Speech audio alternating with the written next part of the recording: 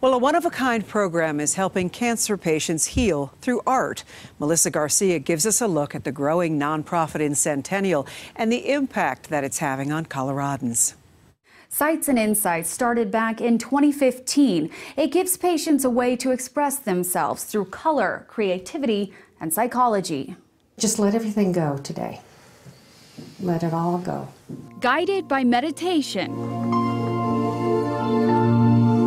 Serenaded by music, cancer survivors, families, and caregivers fill canvas with color. I used red for anger and black because it just takes over. Shailene Johnson has stage three melanoma. She says the six week workshop here has taught her to paint her emotions. The emotions create the art. Releasing feelings pent up from a difficult diagnosis. She'll pull out emotions I didn't even know were there.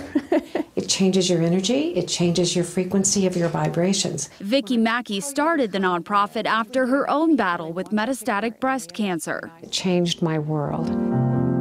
And says the healing through strokes, sponges, and palettes helps her just as much as it helps others.